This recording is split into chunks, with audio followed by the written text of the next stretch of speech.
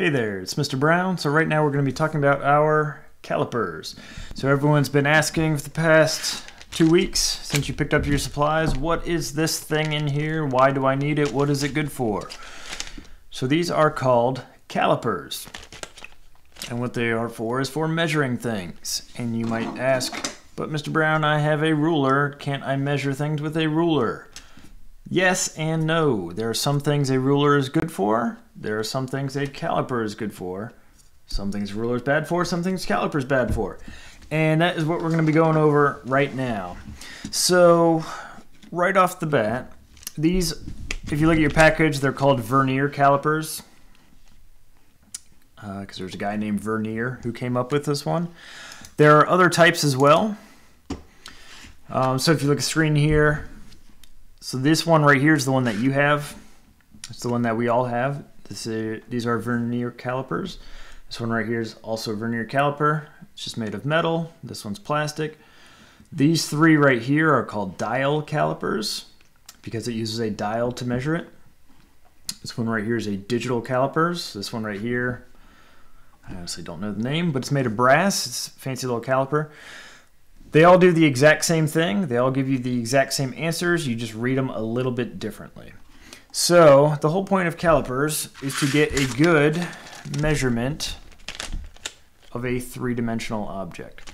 So I'm going to go ahead and take this out of the package here. So don't lose this package because you can keep it in here to help prevent you from losing your stuff right here. So I'm gonna go ahead and switch this over right here. All right, so looking at my calipers, you'll notice it looks kind of funny. It's got a little scale right here, some stuff to read it on, a little pointy thing at the end to stab people with, and uh, some little things to grab right there.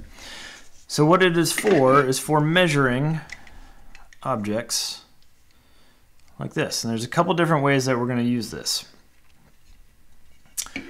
And so if I'm looking at an object like this, so this Lego right here, I can measure this and I can see with my ruler that this is about one and a quarter inches. I'm sorry, with my calipers, this is one and a quarter inches. Now you can also say, hey, Mr. Brown, can I pull out my ruler? And I can just pull this out and say, hey, that is one and a quarter inches. Yes, it works well for this. But let's say I have a nice pretty bird. I got a picture of a bird right here. I want to say, how tall is this bird? I can pull out my ruler. I can find the top and the bottom, and I can say that that is 4 and 1 16th inches. So you can pull out your ruler on this. But now let's say I have an actual three-dimensional object. This bird right here. And if I try to measure this with my ruler, it's kind of like where do I put my ruler to measure it? Because if I lay it here, it's going to wobble. Do I put it here? Do I put it there? So that's why you have calipers. Calipers are for measuring three-dimensional objects. So I can take this and I can grab my owl like this and I can get a really good answer of exactly how tall this is. So for the sake of this class and just kind of in general, Rulers are great for measuring two-dimensional objects that are flat, like something on a piece of paper. Calipers we're going to use for measuring three-dimensional objects, so actual real-life things. So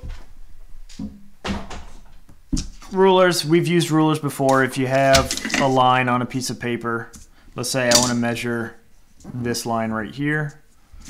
I can hold it. Remember, I'm lining it up to the zero line and I'm reading it, and that is 4 and 3 sixteenths inches, or in millimeters, that is lining it up with the zero, 106 millimeters. All right. So something flat on a piece of paper, we use the ruler to measure that. Something three-dimensional, we're going to use the calipers. So the thing I always talk about is the coffee cup. So you've got a coffee cup. I need to know that this lid is going to fit on this bottom, right? If this is too small, it's not going to fit. If it's too small and it doesn't fit and I go to take a sip, it's going to pour hot coffee all over me. If it's too big, it's not going to fit on there and nothing's going to work well. So whoever designed this, you know, whoever made this right here. So this is made out of metal. This is made out of plastic. The same factory did not make both the metal and the plastic parts. It was probably two different factories, so somebody had to design it and measure it out very accurately to say, hey, metal factory, make it this size. Plastic factory, make it this size. That way it's going to give you an accurate dimension that will fit perfectly. Calipers are an excellent tool to do that. So to use the calipers, there's a couple different ways that we're going to use it. So we we do is we pull it out and you will read the scale right here. So a couple different ways. One is that you can measure the outside dimension of something and that one you're going to use this bottom part right here. So this will measure the outside. So my coffee cup. I'm going to measure this ring right here. So what you do is you take it, hold this part in your hand back here. This little part sticking out right here, you put your thumb on that so you can slide it up and down. I'm going to find the widest part and I'm going to hold it like that. So I'm holding it in between those two points. Right. So you should be able to hold your object with the calipers if you're doing it, if you're holding it correctly. And then I look at my scale and I see what that is. If I am measuring this block right here, again, I want to measure the outside of it from this side to that side. Put it right there just like that. That's going to hold it. If I want to measure the inside of something, so my coffee cup right here, if I want to measure this inside right here, that's where you're going to use this part. So this part that's sticking out right here, you take that, and you put it, it helps if you could see. So I'm going to measure it and pull it until it's tight, just like that. Sorry, this camera's kind of tough to deal with. There we go. So I can measure that diameter right there. Uh, if I wanted to measure on the bottom of my Lego the inside of that,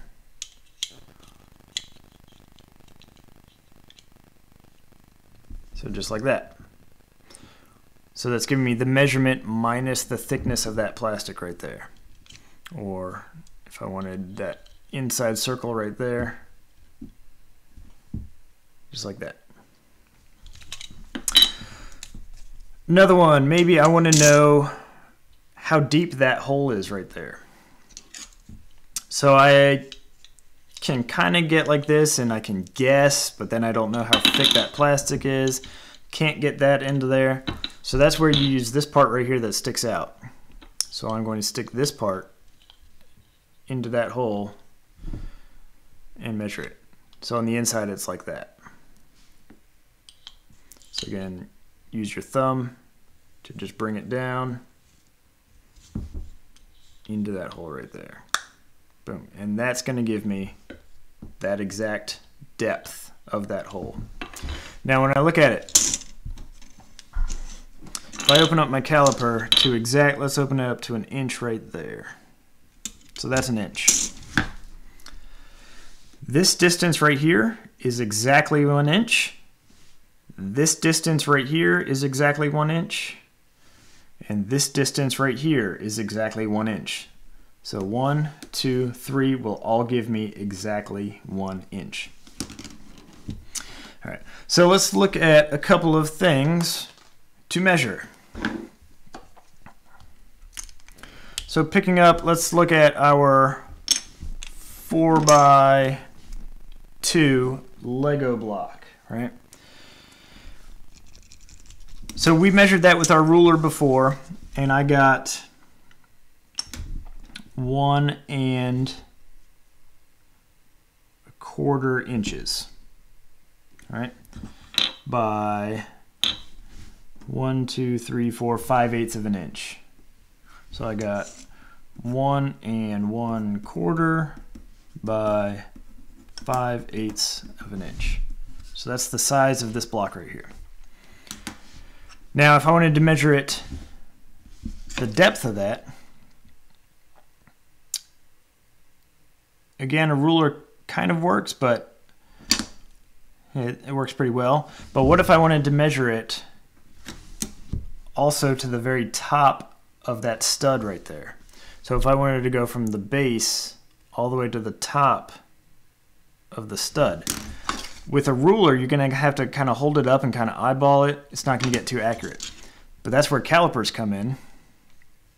And I can go all the way to the bottom, all the way to the top, and I can see that that is one, so that is one, three, four, five, six, seven eighths of an inch, seven sixteenths of an inch. So that is seven sixteenths of an inch tall. So I can